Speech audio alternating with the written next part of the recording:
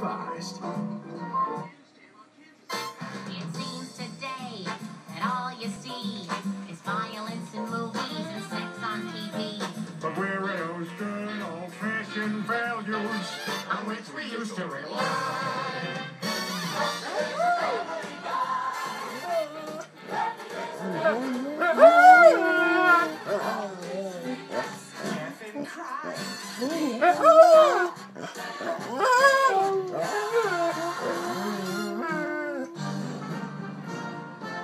Well, that was good singing too, Foxy.